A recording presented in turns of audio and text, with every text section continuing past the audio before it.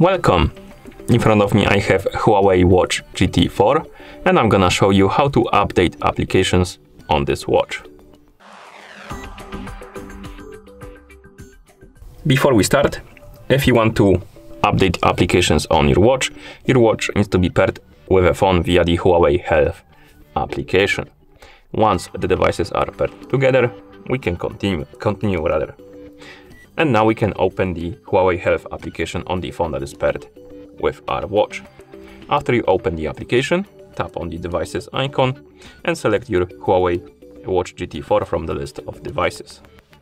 Here, scroll down and find the option called App Gallery. Once you find it, tap on it.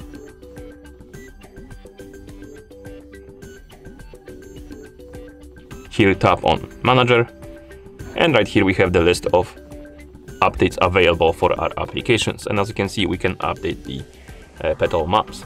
To update the app, tap on Update.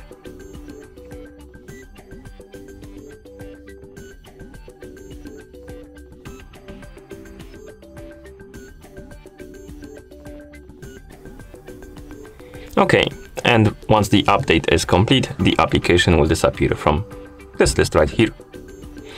And now we can close the Huawei Health application, and that's how you update applications on this watch.